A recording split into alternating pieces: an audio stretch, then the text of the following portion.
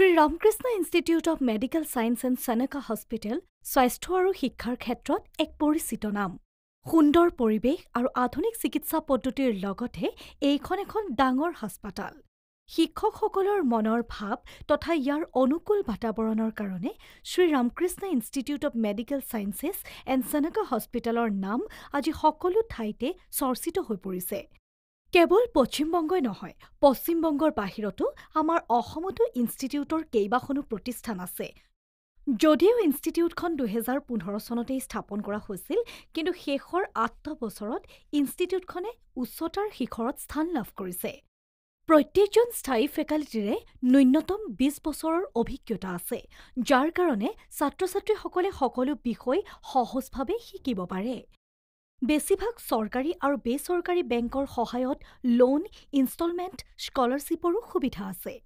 প্ৰত্যেক ছাত্ৰ ছাত্ৰীৰ কাৰণে কলেজ চৌহদৰ ভিতৰত বইজ আৰু গাৰ্লছ হোষ্টেলো আছে।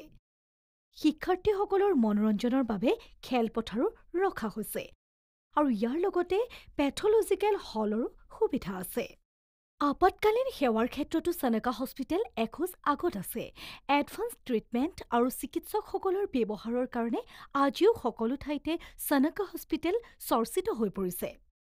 কৰোণা মহামাৰীৰ সময়ত যেতিয়া সমগ্ৰ বিশ্ব চিন্তিত আছিল সেই সময়ত হাস্পাতালখনৰ চিকিৎসক তথা সকলো স্বাস্থ্যকৰ্মী দিনে ৰাতিয়ে ৰোগীৰ চোৱাত ব্যস্ত হৈ আছিল।